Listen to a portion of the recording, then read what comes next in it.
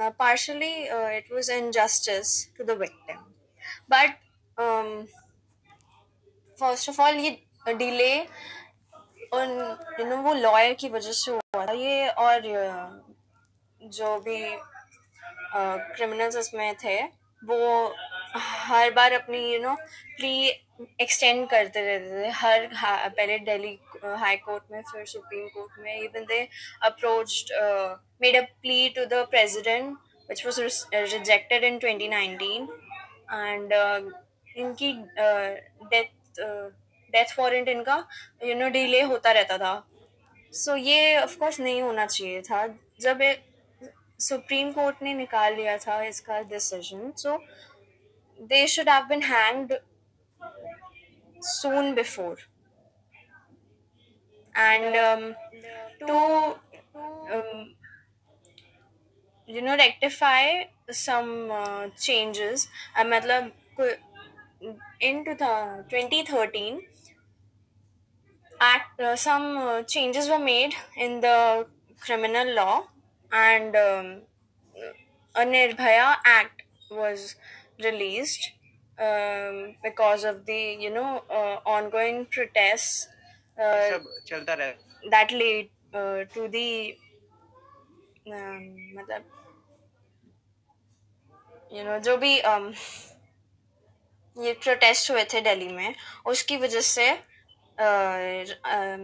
लोकसभा राज्यसभा में एक amendment act भी हुआ था इसके लिए जिसमें बहुत सारे चेंजेस हुए थे और कुछ चेंजेस ये थे कि एसिड अटैक और सेक्सुअल हरासमेंट और स्टॉकिंग इन सब में पनिशमेंट इंक्रीज हुई थी और स्पेसिफिकली यू नो मेंशन किया था कि किस किस मतलब पूरी डेफिनेशन स्पेसिफाई करी थी, फिर रेप की भी डेफिनेशन चेंज हुई थी। Earlier it was defined only um, uh, matlab, uh, the definition was uh, broadly like uh, only penetration of penis into vagina or urethra uh, but um, it was uh, the definition of rape earlier but it was changed uh, that changed to um, the penetration of penis in to not only vagina or urethra but also anus or mouth and um, or any object or uh, any part of body to an extent into vagina, urethra, or anus um, to another woman. Actually, I'm reading this uh, from um, you know source. So yeah, that was my point. So yeah, I'm totally yeah, agree on your point. So मेरा कंस मेरा point ये है कि मतलब फांसी के, फांसी से ज़्यादा भी शायद इन लोगों को कुछ मिल कुछ सजा मिलनी चाहिए, क्योंकि ये जो केस था, ये मतलब सुप्रीम हाई कोर्ट ने भी किया था कि rarest of the rare case है। मतलब ऐसा केस उन्होंने आज से पहले दस दस बीस सालों में ये अपने पूरे मतलब दस बीस सालों में तो नहीं, अपने पूरे करियर में मान लो उन्होंने ऐसा केस पहली बार देखा था, जहाँ पे इतनी ब्रुटैलिटी और इतनी मतलब हेरासमेंट के साथ ऐसा केस हुआ था। तो मेरा मेरा पॉइंट ये है कि मतलब इंडियन जुडिशरी में और इंडियन लॉ में ऐसे मतलब फांसी से ज़्यादा भी ऐसे कुछ वो पनिशमेंट होनी चाहिए जहाँ पे मतलब वो जो एक्यूज है उन्हें मारे मतलब उन उन्हें डेथ पेनल्टी ना दे मतलब ज़िंदा रख के मतलब उन्हें ऐसी वो पनिशमेंट मिले कि उन्हें मतलब एहसास हो जाए कि कि कितना उन्होंने उनको दुख पहुँचाया जिस पे जिस, जिसके साथ पे भी ये रेप अटेम्प्ट होता है। तो हाँ मैं कहना चाहूँगा कि हमारे इंडियन लॉ में ऐसी बहुत सी चीज़ों की अमेंडमेंट है और ज़रूरत है जिससे हम मतलब ऐसे केसेस में और भी अच्छी तरीके से काम मतलब पनिश कर सके लोगों को।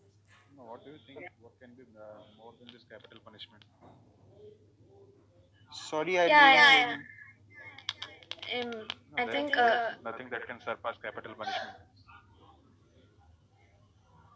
think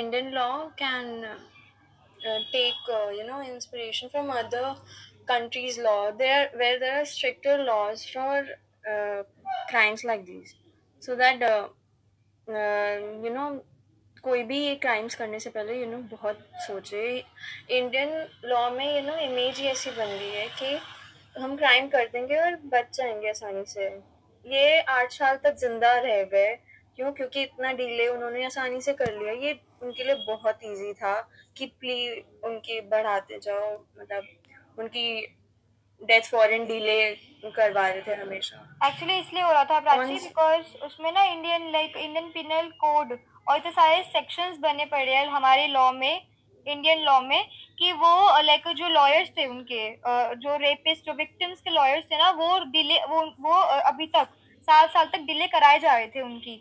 उनकी पनिशमेंट एंड uh, वो क्यों करा? पा इनफैक्ट अभी भी जिस रिसेंटली uh, मैंने पढ़ा था लाइक like, मैंने सुना था कि ये जो लॉयर्स uh, थे uh, उन्होंने ये तक बोला था कि इनकी इनको विक्टिम्स को हैंग आउट करने की क्या लाइक हैंग करने की क्या ज़रूरत है?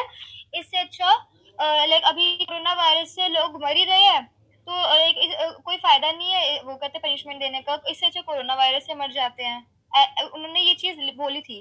पर वो तो लाइक कोर्ट ने इसको रिजेक्ट कर दिया इस प्रपोज इस लाइक इस स्टेटमेंट को, क्योंकि उन्हें ये सही नहीं लगा। बट मैं बस इतना कहना, बताना चाह रही हूँ कि हमारे लॉ में इंडियन लॉ में इतने सारे सेक्शंस हैं, जिस वजह से उनकी पनिशमेंट अब तक अब जाके हुई है बिकॉज़ वो कितनी ज़्यादा डिले हो गई। एंड मैंने देखा है कंट्रीज़ अदर कंट्रीज़ में जब भी कोई विक्टिम होता है ऑन द स्पॉट उसको पनिशमेंट दे दी जाती है। हमारे इंडिया में पता नहीं, हमारे कॉन्स्टिट्यूशन में इतने सारे अमेंडमेंट्स इतने सारे एक्ट्स बनाए ही क्यों रखे हैं। एंड लाइक मैंने ये भी ये भी लाइक वीडियो में देखा था, जो विक्टिम्स के जो वो थे ना पेरेंट्स जो फैमिली थी वो निर्भया की जो मम्मी है ना उनको कोस रही थी उन्हें कर्ज कर रही थी कि तुम्हारी वजह से हमारे हमारे बच्चों की बच्चों बच्चों को पेंशन मिल रही है। जबकि उन्हें ये समझना चाहिए कि उन, उनके बच्चों ने क्या गलत किया उन्होंने गलत किया है। स्टिल वो उनका साइड ले रहे थे। पता नहीं कैसे लाइक अभी भी कैसे कैसे लोग हैं समझ ही नहीं आता। ये जो हाँ, मतलब दोषी का जो ये था ना वकील था ना उन, उन्होंने एक बात मुद्दा भी तुला था कि उठाया था कि ये लोग जब किया था ये माइनर था। ये वो चोरी किया था क्या जब माइनर था? गलती से हो गया। उनको पता है क्या कर रहे वो फिर फिर भी कर रहे गलती। तो माइनॉरिटी की वजह से की वजह से बात उठाया जिसके वजह से और कुछ ना हो दो महीना तो पीछे आ गया ना। तो यही बात है क्या है सिली क्वेश्चन उठा के फिर सिली ये उठा के जो है तो इंडियन जुडिशरी जिस प्रिंसिपल पर काम करती है वो प्रिंसिपल कहता है कि भले ही दस दोषी बच जाए पर एक निर्दोष को फांसी या कोई भी सज़ा नहीं होनी चाहिए। तो उसके लिए काफ़ी तो वो जो एक्सपेक्ट कर रहे थे वो इसी पोल्स वगैरह से कर रहे थे ठीक है ना? बेसिक जुडिशरी का प्रिंसिपल ये होता है। ज़्यादातर डेमोक्रेटिक कंट्रीज़ में यही होता है एक्चुअली कंट्रीज़ में यही होता है कि कभी भी हम मैं मैं भी मतलब दस को हम मतलब दस को हम दस को हम छोड़ सकते हैं जो जो बेशक दोषी दोषी होंगे लेकिन हम एक निर्दोष को लेकिन हम एक निर्दोष को सजा नहीं दे सकते। तो ये थोड़ा फैक्टर ऑफ़ सेफ्टी होता है थोड़ा जो लोग अक्यूज होते हैं उनकी तरफ़। लोग अक्यूज होते हैं उनकी तरफ़। बिल्कुल बिल्कुल। मैं कॉन्स्टिट्यूशन का पूरा रिस्पेक्ट भी करता हूँ पूरा मानता भी कॉन्स्टिट्यूशन पर जबकि ये ओपन एक ओपन शॉर्ट केस था बिल्कुल सबको पता ही है कि वो जो पहले छह महीने के अंदर ही प्रूफ भी हो गया था सब कुछ। फिर उसके उसके बाद भी ऐसे खींच के इसको लंबा करके फ़ायदा क्या हुआ? इससे अच्छा तो मतलब मुझे तो लगता है कि कुछ टाइम के अगर और कुछ टाइम मिल जाता है इनको तो ये प्रूव कर देता कि दोस्त छह आदमी का नहीं, जो चार आदमी जो हैंग हुआ है, उनका नहीं था, दोस्त निर्भया का खुद का था। अगर प्रूव कर देता, मैं इसको लिख देता, अगर कुछ और टाइम मिल जाता इनको। इतना भी वीक नहीं है जुडिशियल सिस्टम और बात, एक जो था, एक जुवेनाइल वो एक्विट भी हो गया, एक जुवेनाइल था। आ, वो माइनर था उसको एक्विट भी सबसे ज़्यादा ब्रूटैलिटी उसी ने करी थी एक्चुअली वो एक्विट भी हो चुका है पहले ही। तो इसके तो, बाद भी क्या हुई कि नहीं है हमारा कॉन्स्टिट्यूशन सिस्टम या उसको सिर्फ़ तीन इयर्स की तीन साल की इम्प्रिजनमेंट हुई थी। तो मतलब वो जुगनल है हाँ फिर भी उसको पता भी है क्या कर रहे हैं फिर भी वो कर रहे हैं। तो कैसे वो जुगनल हुआ?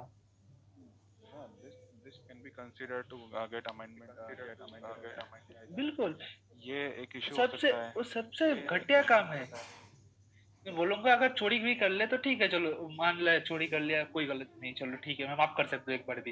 लेकिन सबसे घटिया काम है पूरा वर्ल्ड में।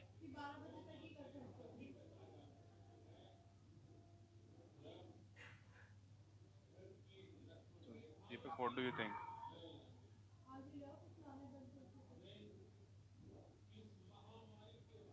मेरा एक ही मानना है कि अगर प्रूफ हो जाए, अगर छह महीने छह महीना, एक साल के अंदर पूरी तरह पक्का सबूत मिल जाए तो उसको खड़ा करो, खड़ा करके लाइन में गोली मारो। मेरा तो यही मानना है।